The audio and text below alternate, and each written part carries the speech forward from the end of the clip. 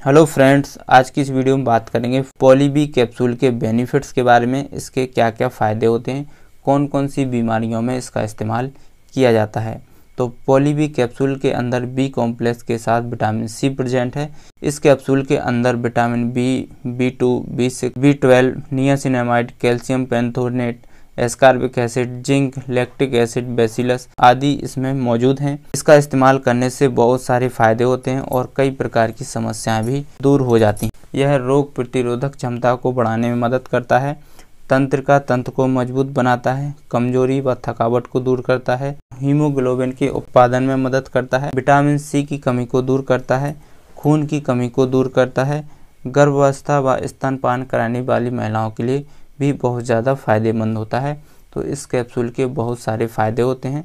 आपके डॉक्टर इस कैप्सूल को आपकी कंडीशन के अकॉर्डिंग लिख सकते हैं। जानकारी अच्छी लगी तो इसको लाइक करें, शेयर करें और दवाइयों से जुड़ी जानकारी पाने के लिए हमारे चैनल को सब्सक्राइब ज़रूर करें।